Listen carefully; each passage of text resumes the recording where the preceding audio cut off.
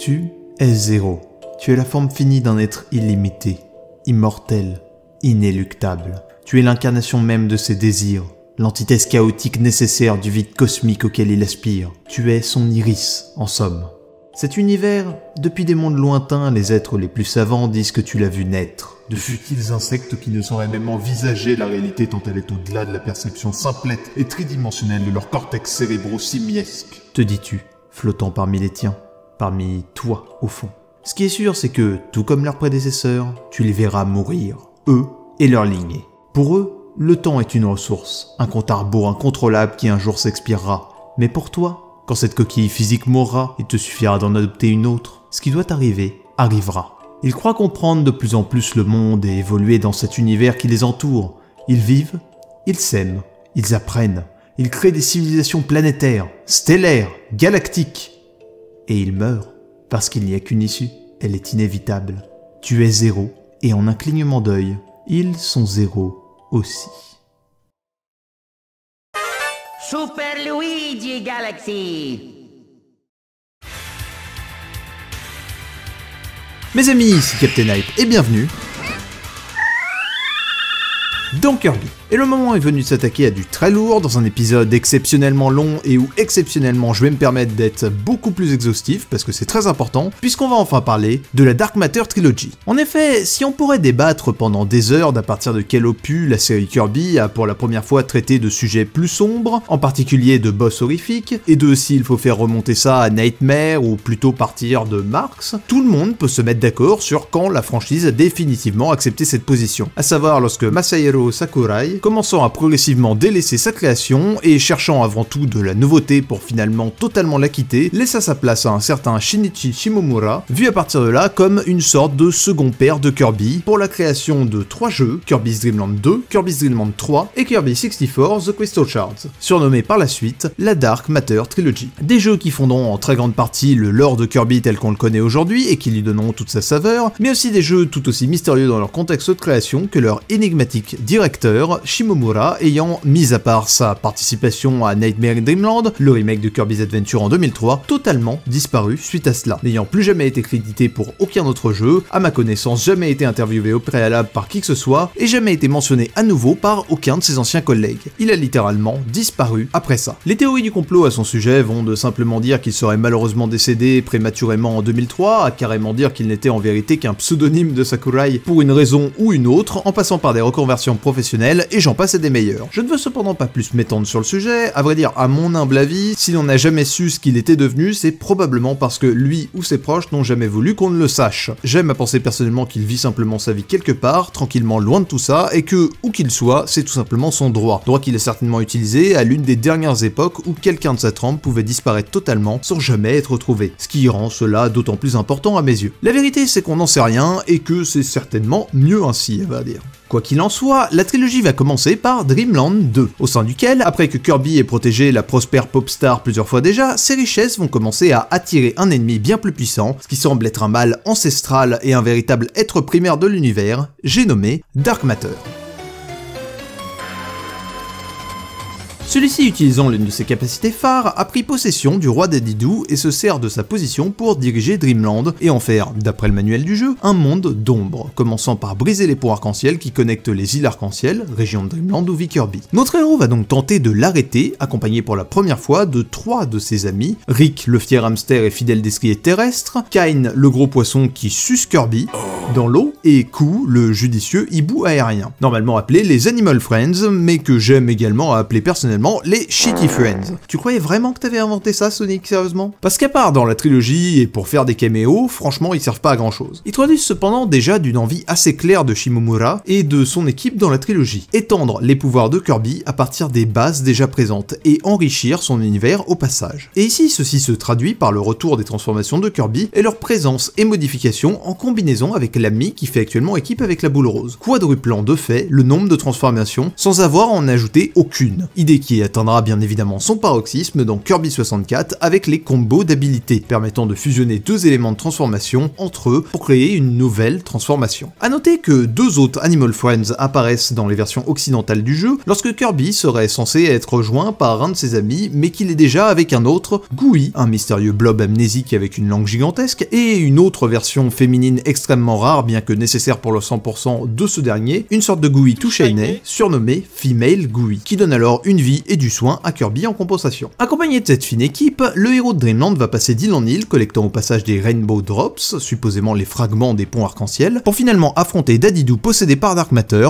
et le vaincre. Cependant, ce jeu va également introduire un autre concept manifestement cher à Shimomura, la bad ending. En effet, si Kirby n'a pas récupéré tous les Rainbow Drops, après avoir vaincu Dadidou, nos héros rentrent simplement chez eux, considérant probablement que tabasser le roi pingouin les débarrasserait certainement du mal qu'ils possédaient, et ne pouvant de toute façon pas vraiment mieux. Les crédits affichant tous les ennemis du jeu finissent cependant par un dernier, mystérieux, Ekain le poisson, euh, qui faisait une tête bizarre tout du long si bien que je le soupçonne même carrément d'être possédé, regarde en tout cas le ciel avant de quitter l'écran, y observant supposément quelque chose, et sous-entendant que non, le mal n'a pas vraiment été vaincu, et que ce n'est en rien la fin. Pour atteindre la vraie fin, celle qui est canon donc, Kirby doit collecter les fragments des ponts sur chaque île, de façon à ce qu'ils s'assemblent après le combat contre Dadidou et forment la Rainbow Sword, qui exorcise le en quelque sorte, faisant enfin apparaître le personnage qui nous intéresse, Dark Matter. Celui-ci va alors s'envoler et prendre la forme d'un épéiste cyclope masqué avec une sorte de grande cape, forme surnommée Dark Matter Swordsman, se lançant ainsi dans un duel à l'épée aérien contre Kirby. Mais d'abord vaincu, Dark Matter révèle rapidement sa réelle forme, un œil noir géant avec des appendices ronds et orange à l'arrière qu'il peut détacher, envoyer et reproduire en boucle. Esquivant ses orbes d'énergie obscure, Kirby lui assène finalement le coup final avec la Rainbow Sword avant de commencer à retomber vers le sol, épuisé. Il rattrape finalement l'épée et vole à travers les îles pour rétablir les ponts arc-en-ciel. Annihilé, Dark Matter ne posera plus jamais de problème à Dreamland.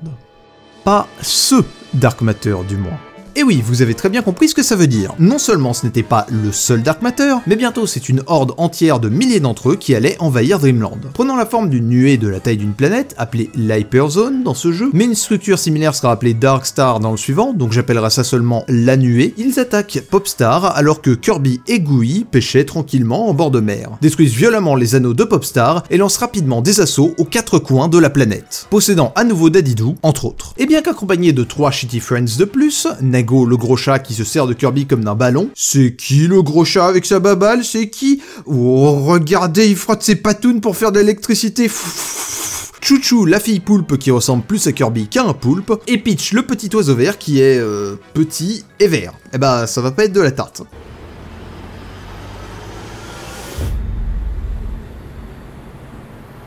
We'll each need to take down about 500. if, if, Bon, à minima, si ça peut ne serait-ce qu'un peu aider, Kirby peut appeler Gooey à la rescousse à tout moment et être accompagné par lui, voire même le faire contrôler par un second joueur. Il possède des habilités très similaires à Kirby, pouvant lui aussi se transformer en léchant ses ennemis et non en les aspirant cependant. De nombreux caméos de personnages d'autres franchises font également leur apparition, en particulier Samus et des Metroid, ainsi que Rob et son créateur, le professeur Hector. Les aider, ainsi qu'aider les autres résidents de Dreamland dans les niveaux, permet à Kirby d'obtenir des Earth Stars, symbole de leur gratitude. Tout comme dans Dreamland 2, il faut toutes les collecter pour atteindre la vraie fin. Sur quoi nos héros défoncent encore Dadidou avant d'entrer chez eux, niant manifestement l'existence de la nuée cosmique au-dessus de leur tête. C'est un peu comme nier le réchauffement climatique, tu me diras. Si Kirby collecte toutes les Earth Stars, cependant, elles s'assemblent, renvoyant tous les Dark Matters dans leur nuée et se transforment en une sorte de baguette magique, lançant des projectiles de sentiments purs et marchant littéralement au pouvoir de l'amitié, le Love Love Stick. Sans commentaire. Qui permet également à Kirby de s'envoler pour poursuivre le mal directement dans l'Hyperzone. Dans cet espace étrange, Kirby va de nouveau devoir faire face à un Dark Matter, mais rapidement il réalise que Gooey, qui l'accompagne, a de lui-même pris une forme étrange similaire à leur ennemi, arborant lui aussi des extrémités oranges, pouvant voler et lancer des projectiles, et semblant involontairement enfin révéler quelque chose de son identité. Cependant, une fois Dark Matter vaincu, les choses ne s'arrêtent pas là, puisqu'ils sont pris d'assaut par le leader des Dark Matters en personne, une énorme boule blanche arborant un œil rouge similaire à celui qui est visible sur la nuée, et semblant capable de créer des Dark Matters à volonté, terrible Zéro. Esquivant charge après charge des mystérieux envahisseurs noirs, assaut après assaut de l'âme d'énergie rouge produite par Zero, Kirby s'accroche et enchaîne les projections avec le Love Love Stick. Si bien que dans une dernière intensification du combat, l'œil rouge de Zero se détache soudainement de sa coquille blanche endommagée, risquant absolument tout dans ce combat et traquant Kirby jusqu'à son dernier souffle. Mais Zero ne peut en vérité rien faire face au sentiment des amis de Kirby concentrés dans le Love Love Stick, et il est défait. La nuée est alors immédiatement dispersée, les anneaux de Popstar sont reformés, et Kirby et Gooey peuvent rentrer chez eux en héros. Bien, je viens littéralement de vous écraser sous un tas d'infos, alors faisons le point, qu'est-ce qu'on sait jusque-là en gros? Eh bien, pas grand-chose en fait. Il y a cette espèce, semble-t-il, d'envahisseur galactique du nom de Dark Matter. Dans Dreamland 2, il y en a un tout seul qui a attaqué, et ensuite dans Dreamland 3, c'est tout leur clan qui est venu avec leur chef et a tenté de prendre le contrôle de Popstar. On ne sait rien de leur motivation, on ne sait rien de leur origine, on ne sait même pas vraiment si ces deux événements sont liés au fond. Et c'est bien évidemment volontaire. Les Dark Matters sont restés pendant très longtemps le grand mystère du lore de Kirby, et le sont encore un peu aujourd'hui. Une sorte de force ancienne et d'une ampleur inquantifiable dans l'histoire de l'univers que la boule rose a vaincu sans même comprendre, rendant encore plus dur la compréhension du lore exact de la franchise. Alors, comme on n'a rien sur tout ça, partons des bases. Les Dark Matters sont bien évidemment nommés après la matière noire, c'est littéralement leur nom en français. Une matière hypothétique qui existerait dans la vérité vraie du réel, serait l'explication de phénomènes de masse étranges à l'échelle des galaxies, entre autres, que nous observons mais n'expliquons pas dans nos modèles classiques, et qui, avec l'énergie sombre à laquelle elle est souvent associée dans la culture populaire, composerait près de 95% de l'énergie de l'univers, notre matière classique composant le peu qui reste, alors que la matière noire et l'énergie sombre nous sont totalement invisibles. Ceci fait que, dans leur nomenclature même, les Dark Matters de Kirby portent cette idée d'une sorte de force silencieuse et invisible, mais aux effets omniprésents dans le cosmos. Ainsi, quel que soit leur but, ce pourquoi ils sont là, ils doivent prendre effet presque partout, et être la raison pour laquelle l'univers de Kirby est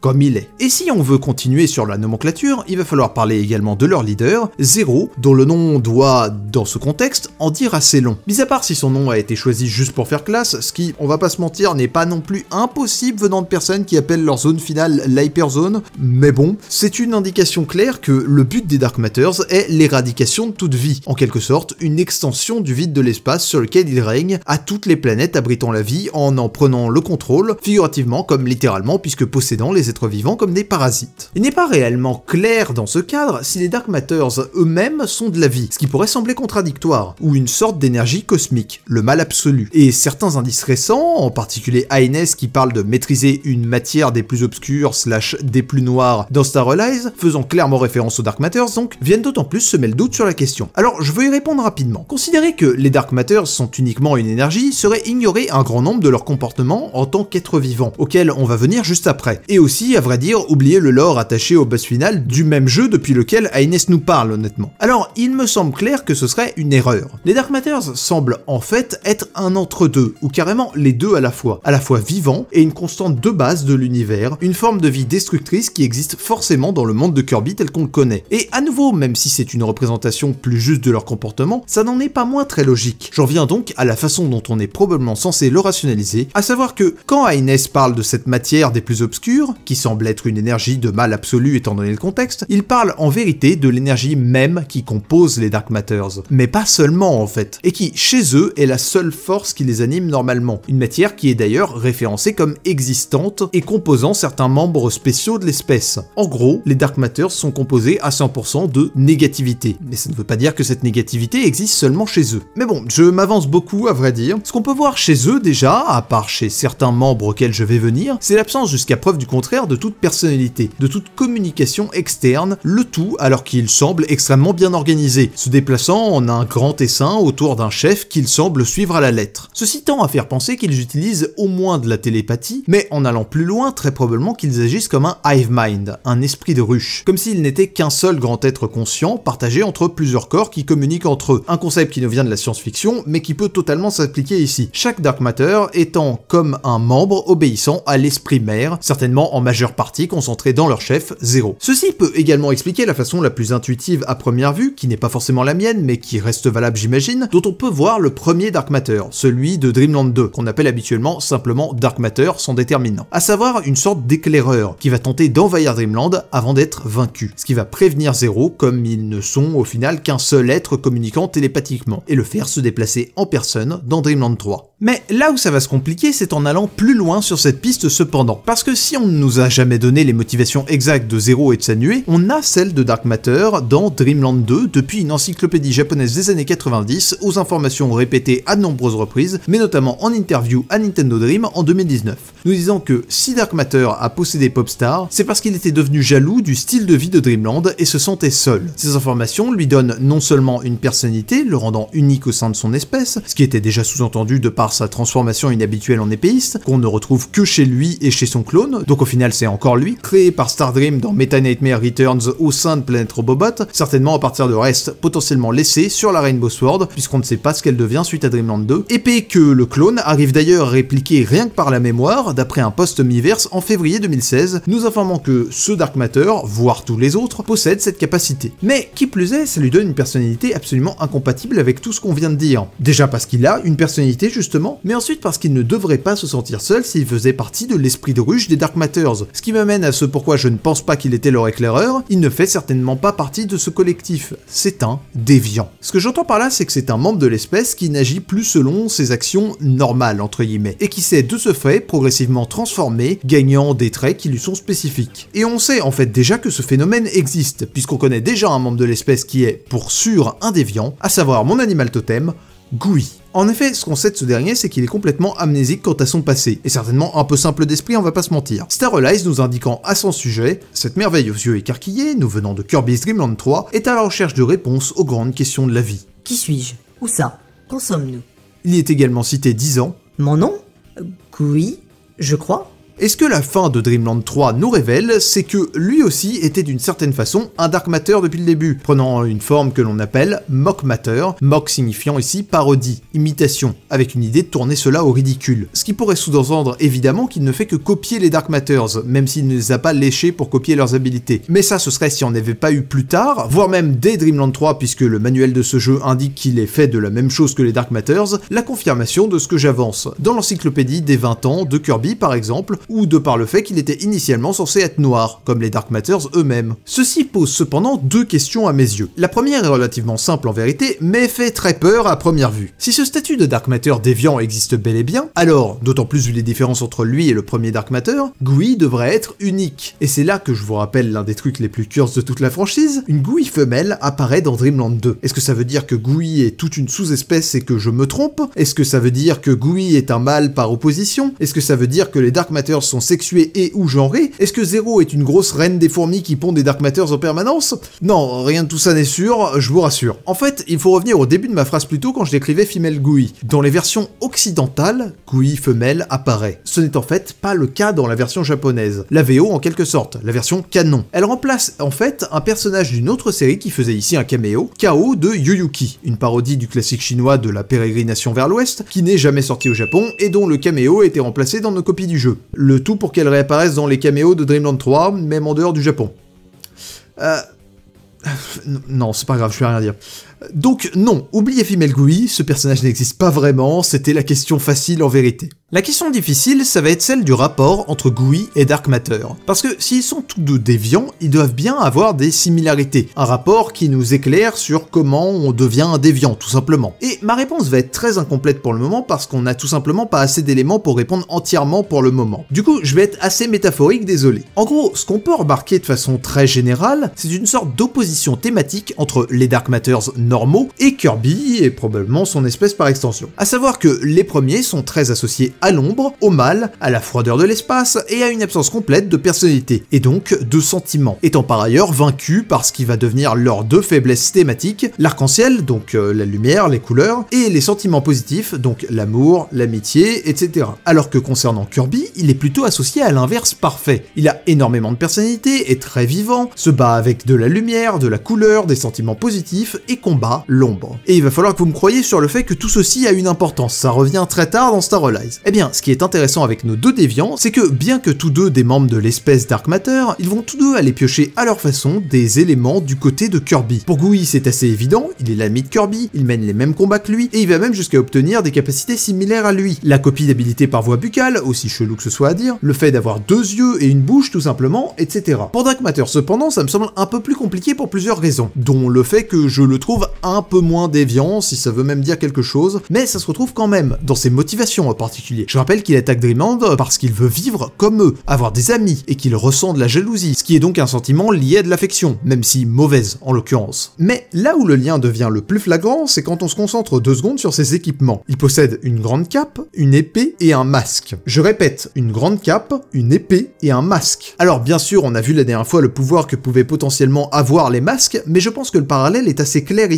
à part ça. Il va chercher dans la culture des Knights, dont on ne connaît pas le rapport exact thématiquement avec Kirby, mais qui en reste normalement très proche, puisque supposément de la même espèce. Donc voilà mon explication sur ce que sont ces déviants, et par opposition, ce que sont les Dark Matters et Zero. Ces derniers sont les némésis de Kirby dans tout ce qu'ils représentent, et leurs déviants sont des individus qui se sont éloignés de leur alignement moral strict pour se rapprocher de celui de Kirby. Reste que la Dark Matter Trilogy est, comme son nom l'indique, une trilogie. Alors vous comprendrez que les choses ne vont pas s'arrêter là.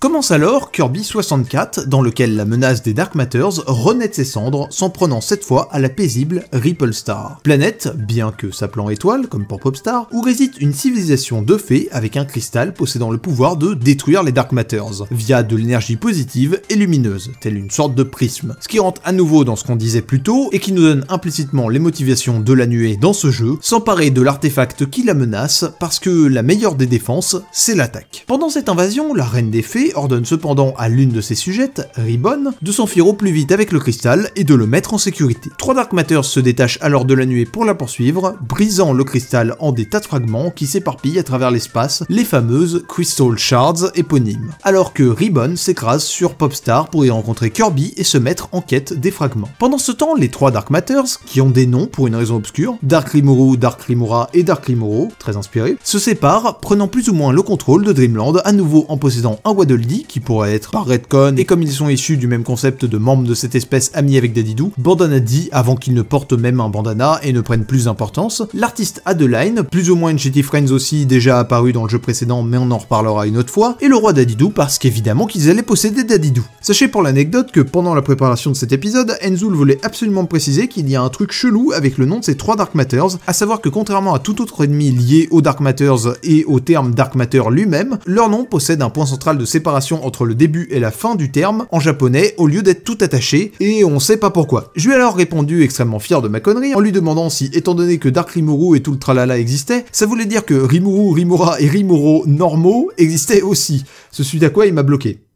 Non, en vrai, il l'a pas fait, mais il aurait clairement dû. Bon, ça peut sembler totalement random, mais ça va avec un certain nombre de détails, comme le fait qu'en japonais, on ne nous dise jamais que le trio fait partie des Dark Matters, mais seulement du nuage noir, donc de la nuée, ou que contrairement aux Dark Matters dans Dreamland 2 et 3, ceux-ci n'ont pas d'espèce de pétale orange à l'arrière. Mais bon, je vais pas vous cacher que mon avis perso, c'est que ça ne veut rien dire du tout, si ce n'est que le lore exact était pas encore super clair quand ce jeu a été fait, et qu'on va pas se mentir, 64 galère un peu avec la 3D, ne sachant pas vraiment comment représenter certains éléments du lore, et que les espèces de boules oranges, qui marchaient super bien en 2D, auraient été bien plus ridicules dans cet environnement. Et en effet, même 20 ans plus tard, elles le sont sur en mock matter dans Star Allies. Mais bon, au pire, si c'est vraiment un changement lié au lore, à mes yeux, c'est soit quelque chose qui est arrivé suite à la mort de Zero, on y vient, soit parce qu'on ne voit peut-être pas vraiment de Dark Matter seul dans ce jeu, et que les trois petits rigolos là seraient plutôt euh, des sortes de petites nuées, composées de plusieurs Dark Matters. Puisqu'on sait d'un peu plus tard dans le jeu que plusieurs Dark Matters, voire une nuée entière, peuvent posséder un seul être, ou rétrécir un peu comme bon leur semble, et que c'est un peu la forme qu'ils prennent. Voilà, c'était une parenthèse bien trop longue sur trois persos totalement OSEF, Oh non, qu'est-ce que c'est que ça encore? Bon alors, ça c'est Dark Rimuru qui, en possédant un Waddle Dee, le transforme manifestement en Waddle Doo, un ennemi qui était donc déjà présent sur Popstar depuis le premier jeu, et donc certainement depuis toujours, bien avant que n'importe quel Dark Matter à notre connaissance n'arrive sur la planète, ce qui donc a des implications énormes sur leur influence sur l'univers.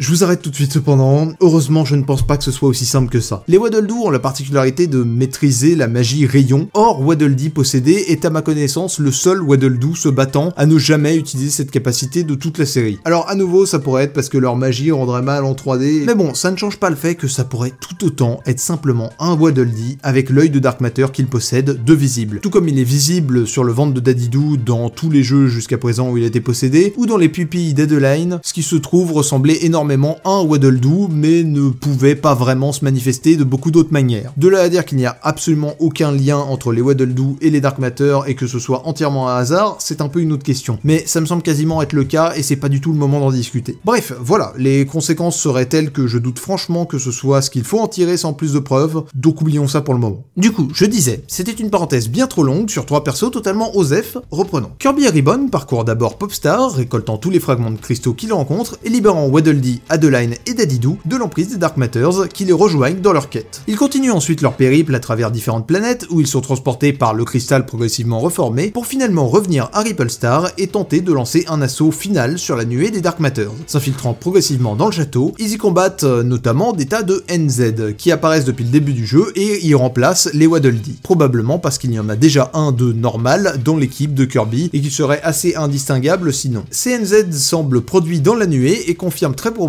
ainsi leur lien avec les Dark Matters dont ils sont, malgré leurs différences, une forme ou du moins une invocation donc, nés de la même matière ou de la même énergie. Et finalement, en rentrant de front dans la nuée, nos héros y rencontrent le boss de Ripple Star, un ennemi poussant l'horreur cosmique des Dark Matters à son maximum, une sorte de polyèdre à 20 faces, un icosaèdre, blanche, arborant chacune un œil rouge, n'étant pas sans rappeler Zéro, du nom de Miracle Matter, la matière miraculeuse. Testons Kirby sur toutes ses capacités en se transformant en permanence et en le menaçant sur tous les fronts, forme après forme, feu, glace, électricité, pierre, bombe, aiguille et trancheur, Kirby doit user habilement de tous ses atouts pour frapper Miracle Matter, qui reprend alors plus ou moins une forme d'orbe et détruire ses yeux un à un. Ceci établit enfin la dernière particularité importante des Dark Matters, qui reviendra à l'avenir, à savoir leur capacité potentielle à maîtriser les différents éléments, d'une façon presque similaire à Kirby, tout comme ils ont parfois la capacité de copier des objets issus de leur mémoire à travers le clone de Dark Matter en particulier, nous y reviendrons en tout cas. Finalement vaincu, Miracle Matter se désintègre dans une grande explosion, relâchant le dernier fragment de cristal obtenable et permettant au cristal plus ou moins reformé de purifier Ripple Star, en dissipant le nuage noir, sauvant une nouvelle fois l'univers d'une influence obscure. À moins que, vous pensiez vraiment que Shimomura allait s'empêcher de faire une dernière mauvaise fin? Si tous les fragments n'ont pas été collectés, Kirby et ses amis repartent sur Popstar après le combat, laissant derrière eux le cristal à la Reine des Fées, secrètement possédé par une partie de la nuée qui se cachait jusque-là, et forçant sans le savoir l'univers dans un péril certain. La vraie fin consiste à nouveau à collecter tous les MacGuffins. Le cristal, alors complet, ressent l'énergie obscure dans la Reine des Fées et la purifie de lui-même, forçant le bal à se révéler et la nuée à se reformer au-dessus de Ripple Star sous la forme de Dark Star, le dernier bastion des Dark Matters. Face à cette menace, Kirby décide d'appeler la police, et par là j'entends sa Warp Star. Non, il n'y a aucune blague cette fois-ci, il a vraiment un téléphone pour appeler sa. Et accompagné de ses amis, il s'engage pour le dernier combat face aux Dark Matters, devant se rendre à l'évidence, si le mal est de retour et en aussi grande forme, c'est qu'il va devoir à nouveau combattre l'ennemi le plus puissant qu'il ait jusqu'à présent rencontré, la renaissance maléfique de Zero, Zero 2. Relativement similaire à son prédécesseur Zero, Zero Two prend la forme d'une énorme sphère blanche qui commence par prendre la forme d'un visage qui n'est pas sans rappeler Gui avant de rapidement faire apparaître son gigantesque œil rouge iconique, lâchant maintenant ce qui semble être une larme de sang sur les artworks et probablement également lorsque Kirby, accompagné de Ribbon pour voler et du cristal transformé en un véritable fusil à cristaux qui lui font face, tire dedans. Prenant une forme angélique via deux ailes et un anneau, Zero Two évoque ainsi totalement sa résurrection, l'anneau cachant une sorte de pansement géant couvrant supposément le trou béant laissé par la sortie de l'œil qui doit être frappé en boucle après l'œil pour révéler une troisième faiblesse, sorte de queue de ronce étant à mes yeux une probable représentation symbolique de la corruption profonde que représente Zero malgré sa forme quasi divine, qui n'apparaît donc qu'une fois son anneau retiré, si ce n'est carrément censé être une queue de serpent et donc une référence biblique à cette corruption maléfique. Avec l'avenir de l'univers sur leurs épaules, Ribbon et Kirby s'accrochent à travers l'espace semblant presque distordu de Darkstar, faisant face à un véritable dieu cosmique, et ainsi, une fois cette dernière partie de son corps détruite, Zero Two implose finalement avec toute sa nuée, le nuage noir se dissipe et révèle enfin un monde semblant débarrassé de la menace des Dark Matters, définitivement cette fois. De retour sur Ripple Star, nos héros sont récompensés pour leurs actes de bravoure et peuvent enfin rentrer dans leur monde. Non mais qu'est-ce qu'elle fait là? Euh, Arrête ça tout de suite c'est vraiment Sonic en fait Bref, tout ceci va poser un certain nombre de questions qui vont en particulier tourner autour des deux boss finaux de ce jeu, Miracle Matter et Zero Two, et de leur lien avec Zero, et va me permettre de tracer une nouvelle catégorie de Dark Matters, les leaders. Commençons par Zero Two, puisque son nom indique clairement un lien, sans pour autant qu'on ne sache exactement de quoi il en retourne. Parce qu'en effet, si une chose est sûre, c'est que Zero Two n'est pas Zero. Déjà parce que leur lien a volontairement toujours été flou. Si c'était le même personnage, on nous l'aurait probablement indiqué plutôt que de dire à chaque fois on ne sait pas quel est leur lien. Ensuite parce que Zero est mort, et donc euh, s'il revit, il faut le prouver. Et pour finir, parce qu'ils sont représentés comme deux boss différents dans l'artwork des boss finaux de Star Allies. Et non une seule fois comme si c'était deux formes d'un même boss. Ce qui est le cas pour euh, eh bah, Dadidou, tout simplement. Même si je comprends qu'on en mette pas 64 sur l'image pour la team DDD de Fighters Deluxe, ça manque d'un King D-Mind pour Team Kirby Clash à minima, même si son cas est un peu compliqué et que pour le coup ce serait plus euh, une version alternative de Dark Mind, on y viendra. Et sinon de Robo DDD pour Dream Course, d'un Dadidou géant pour Blowout Blast, du DD Destroyer Z pour Battle Royale, etc. J'en passe et des meilleurs, vous m'avez compris. Mais à cet argument, on me contre-argumentera probablement que dans sa forme et même dans son nom, Zero Two sous-entend une résurrection de Zero, avec sa forme angélique évidemment, mais surtout bien moins métaphoriquement, son pansement qui prouve qu'on est bel et bien face à la même boule blanche que Zero a délaissé lors de son combat avec Kirby. Et justement, la précision importante est là. Zero, ce n'est pas tout ça, l'œil rouge en vérité. La boule blanche n'était qu'une coquille qu'il a abandonnée pour rappel, une coquille qui aurait pu être reprise, réparée et améliorée par son successeur, sans pour autant que ce ne soit forcément le Zero. Et c'est là que le fait de créer une catégorie de leader des Dark Matter prend tout son sens. Ainsi, il ne faut pas tellement voir Zero Two comme un deuxième Zero, mais bien comme Zero le deuxième, son successeur, créé de façon tout aussi mystérieuse que Zero, certainement choisi, si ce n'est même créé pour la fonction par la nuée, pour prendre la place du leader précédent. Se pose alors la question de ce qu'est Miracle Matter exactement, puisque bien que n'utilisant pas la même coquille que Zero, ni même la même forme, il en possède une similaire, blanche avec des yeux rouges. Question à laquelle ma réponse est tout simplement ce qu'il a l'air d'être, une sorte de second leader, un commandant sous Zero Two, à qui une part de la nuée a été confiée, parce qu'après tout, si les Dark Matters peuvent former un Zero pour les diriger, eh bah pourquoi pas deux, si ce n'est plus si nécessaire. Alors, je ne sais pas exactement le contexte de création de Miracle Matter, est-ce que c'est quelque chose qui a été voulu par Zero Two? Est-ce que c'est une première tentative de création d'un nouveau leader qui n'aurait pas été si concluante que ça Etc.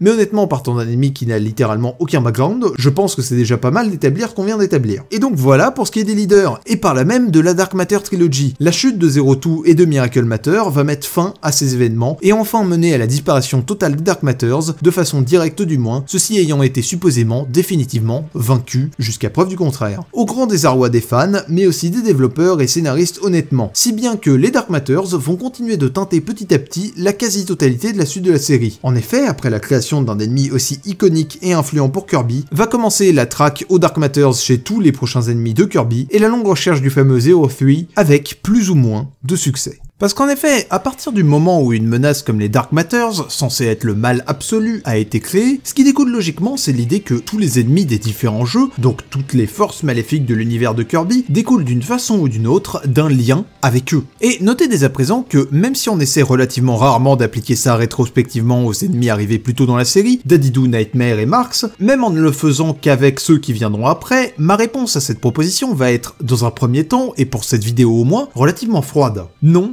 ne pense clairement pas que tous les ennemis aient un lien direct avec Dark Matter. D'autant plus que, comme je l'ai dit, à notre connaissance, suite à la trilogie, les Dark Matter sont morts, et que les ramener va demander beaucoup de ruses de la part des scénaristes pour être honnête. Je dois cependant reconnaître qu'ils savent tenir leur réputation de Nemesis pseudo-déclaré de Kirby, puisque malgré tout, ils vont quand même beaucoup revenir. Mais comme on va le voir, il va falloir y aller au cas par cas, et ça va être très particulièrement vrai presque uniquement dans les premiers jeux sortis après la Dark Matter Trilogy. Au point que ce sont des jeux que je considère personnellement comme étant presque des spin-offs de celle-ci par leur lore, les héritiers de la trilogie. Et tout ça commence avec Kirby and the Amazing Mirror. Je vais passer vite dessus et ce sera le cas pour un peu tous les jeux dont je vais parler là, ici particulièrement parce qu'il y aura un épisode à ce sujet. Grossièrement, il existe au-dessus de Popstar un miroir menant à une dimension parallèle, le monde miroir. Les miroirs du monde miroir étaient capables de créer des reflets rendant les souhaits de ceux qui regardent réels, jusqu'au jour où une mystérieuse force maléfique les a corrompus, les forçant à ne plus refléter que de mauvaises choses. Cette force, c'est Dark Mind. Prenant initialement la forme d'un sorcier humanoïde sans jambes, n'étant pas sans rappeler Nightmare par exemple, mais qui est une forme relativement courante dans l'univers de Kirby, je pourrais y lier Necrodeus, Yenyarn, voire même Magolor en plus de ça, il va durant sa seconde phase révéler sa véritable forme, celle d'un œil embrasé géant similaire à un Dark Matter, ou même à Zero. Utilisant d'ailleurs un pouvoir similaire en possédant d'autres êtres vivants, le twist étant que lui le fait par la pensée, mentalement, là où les Dark Matters le font normalement physiquement, entrant dans leur hôte pour en prendre le contrôle. Ce, bien qu'on le voit tout de même faire plus ou moins cela avec King D-Mind apparaissant sur le ventre de Daddy comme le faisaient les différents Dark Matters qui l'ont possédé. À vrai dire, je ne pense pas choquer qui que ce soit en disant que c'est une version miroir d'un Dark Matter, tout comme ce jeu va avoir des versions miroirs de Kirby et de Meta Knight. Mais les choses vont se compliquer quand on va commencer à se demander pourquoi une telle chose existe, et si c'est un Dark Matter simple ou un de leurs leaders comme Zero. Parce que sans trop s'enfoncer dans les détails, il n'est absolument pas logique de façon naturelle entre guillemets que Dark Matter existe dans le monde miroir. Il peut pas y avoir des Dark Matter parallèles dans ce monde parallèle. Ça n'est pas un simple univers alternatif, où des versions alternatives de tout le monde existent. C'est un univers dont la composition dépend des actions des habitants du monde normal. Le miroir d'émotionnel qui y mène se trouve au-dessus de Popstar, un monde dont les Dark Matter ne sont pas originaires, et ne créent de reflets que pour ceux qui s'en approchent. Il faut dire cependant que ces deux éléments répondent à la question de la création de Darkmind d'eux-mêmes. Le miroir est dans les cieux de Dreamland, à savoir exactement l'endroit où la nuée est apparue et est restée, au moins tout au long de Dreamland 3. Et il aurait suffi que, ne serait-ce qu'un Dark Matter, s'approche du miroir pour refléter ses désirs de contrôle sur le monde, créant ou devenant Darkmind. Ça n'est pas vraiment clair. C'est également pour ça que je doute que Darkmind soit le reflet de Zero, à vrai dire. Rien n'empêche en soi que ce dernier soit allé jusqu'au miroir en personne. Il est même possible qu'il ait su que ce miroir était là et son fonctionnement, en fait, toute autre histoire. Mais je ne vois tout simplement pas l'intérêt que Zero y aurait trouvé. Si ça avait créé un second Zero pour soumettre le monde miroir, peu importe, il ne semble intéressé que par le monde normal en l'état. Et si ça l'avait transformé ou amélioré en quelque sorte, eh ben déjà on verrait plus Zero, ce serait pas deux personnages différents, donc euh, c'est pas le cas tout simplement. Et puis ensuite, il serait ressorti du monde miroir immédiatement pour reprendre ses conquêtes, il y serait pas resté. De là à dire que Darkmind n'est pas d'une certaine façon un Zero, euh, c'est autre chose, parce qu'au fond, il est bel et bien chef de sa nuée, nuée composée d'un seul membre, ce qui ferait techniquement de lui un leader, et aurait pu changer sa forme. Mais bon, probablement qu'il se créerait des Dark Matters miroirs à ce moment-là, donc ça reste relativement compromis. On peut aussi imaginer que Darkmind soit une sorte de déviant miroir. Bon, voilà, ça commence à devenir compliqué à partir Quoi qu'il en soit, nul doute de ce point de vue, Darkmind est bel et bien un Dark Matter. Une version miroir de ceci, pour être plus précis. Vient ensuite chronologiquement Squeak Squad, dont j'ai déjà pas mal parlé précédemment et dont je ne reparlerai plus trop après. Des roches aussi cool soit-il, n'étant pas le point le plus intéressant du lore malheureusement. Et tout au long duquel Kirby poursuit donc un mystérieux coffre qu'il pense contenir son délicieux gâteau à la fraise, mais qui renferme en vérité un mal très ancien, Dark Nebula. Il peut sembler étrange en premier lieu de parler de Dark Nebula en parlant des Dark Matters, même si son œil est assez familier et que son nom contient donc Dark. Mais croyez-moi, les signes ne trompent pas, passez le jeu en VO, prenez des années à apprendre le japonais, ou utilisez Google, euh, je sais pas, et vous vous rendrez rapidement compte que le vrai nom original de Dark Nebula est en vérité Dark Zero. Oh merde, comme on dit. De la même façon, le titre de Lord of the Underworld, dirigeant du monde souterrain ou euh, dirigeant des enfers, est lui aussi une invention des versions occidentales, là où la japonaise parle de Dark Nebula comme du seigneur des ombres. On peut noter en plus de cela l'utilisation assez prépondérante des éléments par Dark Nebula, prenant des formes alternatives pour s'en servir, ce qui rappelle évidemment Miracle Matter. Alors du coup, à nouveau, presque personne n'aura d'objection à ce que je dise que Dark Nebula est lié aux Dark Matters. D'autant plus que ça nous a pour le coup été confirmé dans l'encyclopédie des 20 ans Kirby, mais la question à nouveau ça va être comment? Deux choses vont rendre ça très difficile. D'abord, l'origine de Dark Nebula, scellée depuis tellement longtemps qu'il fut oublié par tout le monde sauf manifestement un être ayant de grandes connaissances anciennes comme Meta Knight, qui tente d'empêcher Desroches et Kirby d'ouvrir le coffre à tout prix, et ensuite sa forme qui ne fait quasiment pas de référence particulière à Dark Matter ou à Zero. Mais bon, quand on y réfléchit, il n'y a vraiment que deux solutions. Étant donné sa solitude et l'importance qu'on lui donne, c'est soit un déviant, soit un leader. Et on va pas se mentir, la seconde solution est certainement à privilégier. Le nom, Dark Zero, étant déjà un énorme argument en soi, ce à quoi on peut éventuellement ajouter la présence d'un œil rouge ou rougeâtre avec une pupille noire. Alors non, Dark Nebula n'a pas la fameuse coquille blanche de Zero et Zero Two. Mais justement, souvenez-vous, ce n'est qu'une coquille. Ça ne fait pas vraiment partie à part entière de ces deux leaders qui ne sont probablement en vérité que l'œil rouge. Et de la même façon, c'est peut-être comme ça qu'il faut voir la forme étoilée Dark Nebula. Alors peut-être pas comme une coquille, mais comme une forme d'aura ou d'excroissance énergétique de matière noire, formée en début de combat autour de ce qu'est véritablement cet ennemi, à savoir l'œil à nouveau. Et de toute façon, il ne serait pas très logique que Dark Nebula ait cette coquille blanche, puisqu'il était supposément scellé depuis bien avant que Zero, et encore plus Zero Two, n'apparaissent près de Popstar, et pendant la totalité des événements de la Dark Matter Trilogy, pendant que cette coquille était utilisée donc. Si bien que, si vous réfléchissez bien à ce que j'implique là, à savoir que c'est donc un membre des Dark Matters qui est un leader et prédate Zero et Zero Two, vous comprendrez ce que ça signifie. C'est un des prédécesseurs de nos leaders plus récents de Dark Matter. Un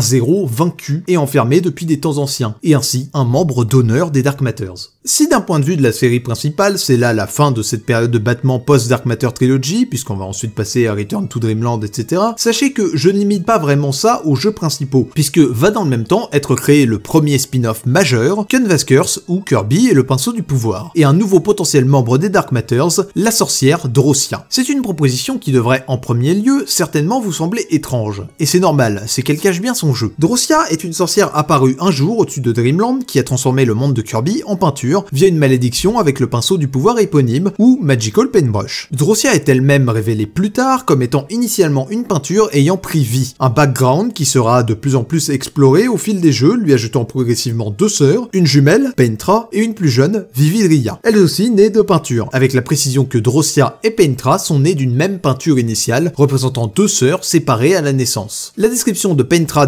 DX, forme non canon mais aux éléments d'univers canon, allant même jusqu'à sous-entendre que la personne qui les a de quoi regretter ce qu'elle a fait. Bien, pourquoi je vous précise tout ça? Parce que tout indique que la peinture elle-même qui compose Drossia est une forme de dark matter, une sorte de peinture possédée, créée par un artiste à son insu. Entre alors en jeu les paramateurs. Pour faire simple, durant son combat final, Drossia semble capable de se diviser pour former des copies plus petites d'elle-même, les parasorceresses. Sous-entendant que la matière qui la compose, de la peinture donc, est recomposable un petit peu comme elle le souhaite, pour former des plus petites versions d'elle-même et les expulser de son corps principal voire même reproduire de la peinture si on veut aller plus loin que ça. Et dans ce cadre d'ailleurs, la forme que prend la sorcière n'est pas forcément si anodine que ça. La sorte d'écharpe encadrée de deux épaulières, la grande cape semblant cacher un corps sphérique avec une sorte d'œil, mais surtout, ce motif sur le rebord ne sont pas sans rappeler un certain Dark Matter. Ce qu'on peut ajouter à cette représentation de Drossia dans l'intro, non pas avec deux yeux dont un caché ou fermé comme à l'accoutumée, mais bien un seul œil central et un corps tout noir. Mais les choses se confirment vraiment lorsqu'on arrive à sa seconde forme, Drossia Soul. Seconde forme Soul qu'on rencontre dans cette série, après Mark Soul, mais historiquement la première, ce dernier n'étant apparu que dans Superstar Ultra, un remake venant se placer plutôt chronologiquement donc, mais étant sorti plus tard historiquement, et où la peinture de Drossia semble fondre pour ne plus former qu'un monstre sphérique de peinture. Mais ce n'est pas la forme elle-même qui m'intéresse en vérité, et notez que je ne me sers volontairement pas d'elle pour prouver ce que j'essaie de prouver là, ce sera important plus tard, c'est les fragments de peinture qu'elle utilise pour attaquer et qu'elle retire de son corps à nouveau, les Paramatters, dont le nom est bien évidemment basé sur les Dark Matters, leur œil euh, rendant le rapport évident, avec le suffixe grec para, signifiant ici proche de la forme originelle, de sens proche, ou tout simplement proche donc. Ceci signifie implicitement que la peinture qui compose Drossia est une forme de Dark Matter, faisant d'elle une représentante des Dark Matters donc. Et nous explorerons exactement comment ceci est possible une prochaine fois. C'est un gros sujet en soi, l'important ici c'est qu'on sait que c'est le cas quoi qu'il en soit.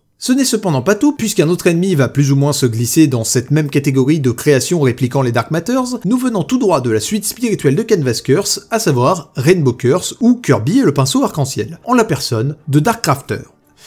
Alors, le problème avec Darkcrafter, c'est que je vous dirais bien encore une fois que c'est un gros sujet, mais en, vérité pas vraiment, c'est plus un, non-sujet. Il y a un nombre assez conséquent de pistes le concernant, mais il faut savoir que aucune ou presque ne mène nulle part. Parce qu'en fait, ce jeu reprend librement des éléments de Canvas Curse et d'autres jeux au pif pour y faire des références en permanence sans vraiment trop s'occuper de sa propre cohérence. Alors, vous m'excuserez si je ne m'étends quasi pas dessus aujourd'hui. Voilà, je, vais juste établir les faits qu'on a sur lui et je les expliquerai et je redonnerai la source maximum que c'est possible. Euh, une prochaine fois, on reviendra dessus, c'est promis. Notez du coup simplement que, de par son nom et son unique œil, il est assez évident que Darkcrafter est censé être une forme de Dark Matter. Qui il y au reste, on ne sait trop comment, et qui fait pour le coup quelque chose d'assez inhabituel pour un membre de cette espèce, à savoir qu'il vole les couleurs de Dreamland et s'en sert, là où ce serait habituellement une faiblesse. Mais voilà, c'est tout ce que je vais dire sur lui maintenant. Enfin bref, ça résume à mes yeux globalement les réapparitions de Dark Matter qu'on va avoir au fil des jeux qui viennent après la Dark Matter Trilogy. Ce ne sont jamais vraiment des Dark Matters, mais toujours des dérivés venant d'une autre dimension, de temps plus anciens, ou encore créés pour répliquer les êtres obscurs.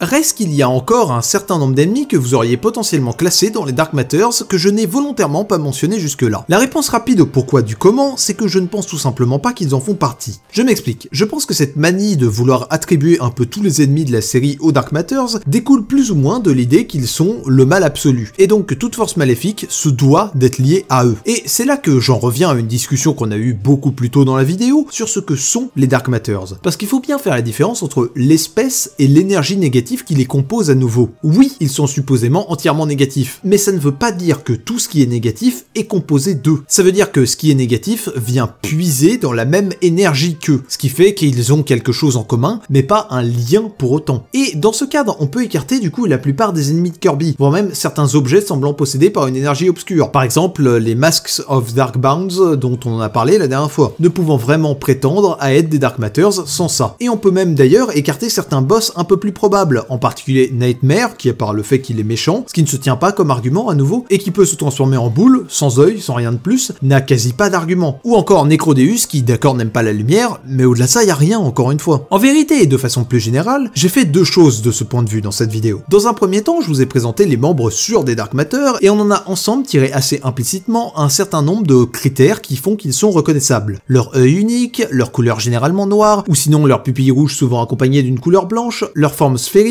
leur association au contrôle et à la destruction de l'univers et des êtres vivants, leur faiblesse à la lumière, aux couleurs et aux sentiments positifs, leur utilisation des éléments, et j'en passe, et des meilleurs. Et dans un second temps, on a commencé à regarder d'autres ennemis et à déterminer ou non si c'était des Dark Matters, en se servant de ces critères, et on y est techniquement toujours là. Pour être considéré comme tel, tous les Dark Matters n'ont pas à répondre à tous ces critères, on est bien d'accord. Par exemple, Gui a deux yeux, ou encore Dark Nebula n'a pas particulièrement d'invincibilité à tout sauf la lumière et les sentiments positifs. Il peut être par un peu tout et n'importe quoi euh, d'assez puissant. Et puis l'utilisation des éléments ne se retrouve au fond que relativement rarement, même si elle est présente quand même, etc. Eh bien, ce que je veux avancer dans cette partie va un peu être la thèse inverse. De la même façon qu'un ennemi n'a pas besoin de répondre absolument à tous les critères pour être un Dark Matter, il faut pas oublier que tout ennemi qui répond à certains de ces critères n'est pas forcément un Dark Matter. En particulier, il devrait y avoir deux ennemis principaux que beaucoup d'entre vous voudraient peut-être placer dans les Dark Matters et dont j'ai pas parlé jusque-là, à savoir Magolor et Void Termina. Deux personnages qui furent à un moment ou à un autre considérés comme le prophétisé Zero Three. En particulier tous les deux principalement à cause de leur forme finale. Alors vous commencez à avoir l'habitude avec cette série, surtout en fin de vidéo, je vais pas être capable de vous donner immédiatement une réponse complète et ça va finir en ouverture sur autre chose qui viendra plus tard. Parce que dans Kirby tout est lié. Mais je veux quand même être aussi clair que possible sur ce sujet, sans non plus parler de ce dont je ne peux pas parler maintenant évidemment. Donc dans sa forme finale, que je qualifierais de presque forme Soul, parce que c'est à peu près la forme que prendra Magolor Soul justement, et que la matière qui le compose est réarrangée et semble à moitié fondre façon Drossia Soul, Magolor perd le contrôle de son pouvoir, pour faire simple, et prend cette forme ronde, avec un visage qui fait une claire référence au début du combat de Zero Two, et avec une bouche entre guillemets, au sein de laquelle apparaît périodiquement un œil rouge. Notez cependant que ce serait étrange puisqu'outre ça, Magolor ne montre jamais aucun trait lié à Dark Matter, que ses attributs ne sont globalement que physiques, et donc relativement peu nombreux même si très visibles, et que rien n'indique particulièrement non plus que cette influence des Dark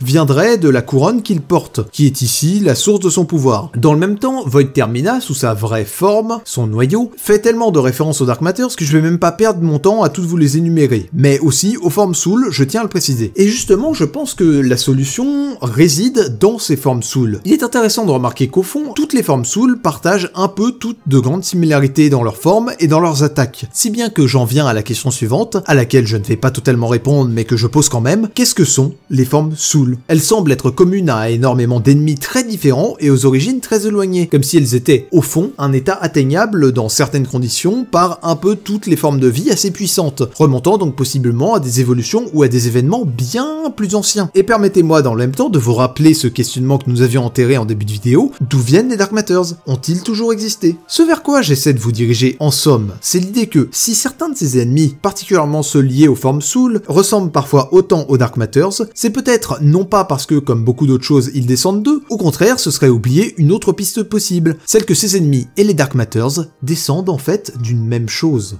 Une piste remontant jusqu'aux origines de l'âme.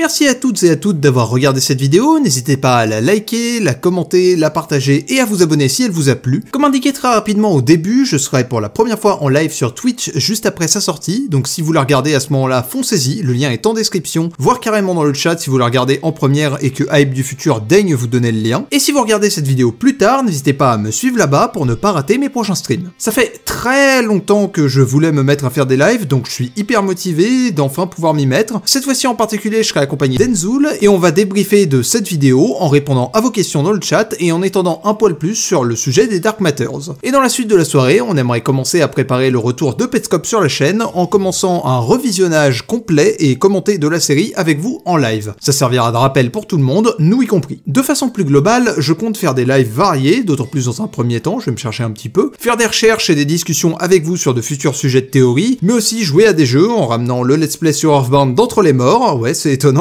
et en jouant sinon à des jeux auxquels j'aime bien jouer pendant mes temps libres tout simplement, dont certains dont je ne peux tout simplement pas vraiment parler sur la chaîne autrement. Voilà, j'ai plein d'autres précisions à faire, genre ouais il y aura des rediffs, je vous en reparlerai, mais le mieux maintenant c'est que vous alliez directement me rejoindre sur Twitch, je continuerai de vous parler de tout ça là-bas, et sinon j'aurai d'autres occasions de le faire ici plus tard. Donc allez-y maintenant, foncez et amusez-vous bien. En attendant, si vous souhaitez soutenir la chaîne financièrement, vous pouvez le faire via Tipeee et Utip, les liens sont à nouveau dans la description. Et pour le mois de décembre, je tenais à remercier Trizek, Pacho, Calamitos, Eresia, Kasulestar, Ekia, Clipto, Shirozaki07, Kikrielos, Sowas, Shiglipou, Help, Noxt, Spokik, Crodaliox, Krokenstein, Drut, Psycho Kusuo, Mister Septal, Hugues de la Connais, PA, Asbix, Jovex, Famunar et Matling24, ainsi que pour le mois de janvier, Trizek, Pacho, Calamitos, Eresia, Kasulestar, Ekia, Clipto, Shirozaki07, Kikrielos, Sowas, Shiglipou, Help, Noxt, Spokik, Crodaliox, Krokenstein, Drut, Psycho Kusuo, Mister Septal,